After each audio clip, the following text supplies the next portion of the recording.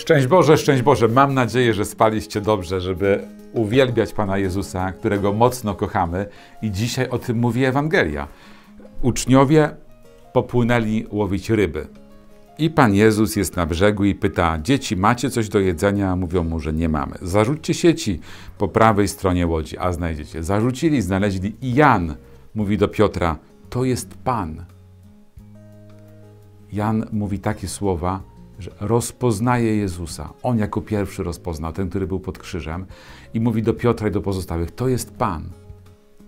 Piotr w tym momencie wszystko rzuca i do Jezusa. Płynie do niego. Kochani, mieć świętego Jana koło siebie, który mi powie: To jest Pan, on tu jest, obok mnie.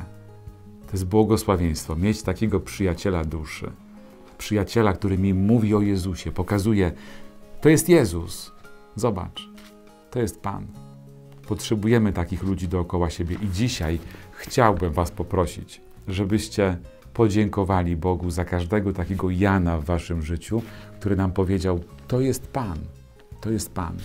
Bo nie rozpoznaliśmy, bo się jakoś kręciliśmy w kółko, coś było ciężko i wymieńcie takie osoby ze swojego życia z taką wdzięcznością.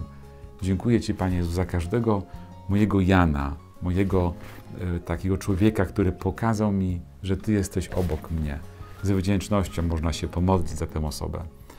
Pamiętajcie, że dzisiaj jest piątek w oktawie y, Wielkanocy, to znaczy dzisiaj nie ma postu, dzisiaj możemy y, cały dzień, cała oktawa jest jak jedno wielkie święto.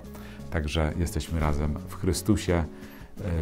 Życzę Wam cudownego dnia. Uwielbiajcie Boga na każdym kroku.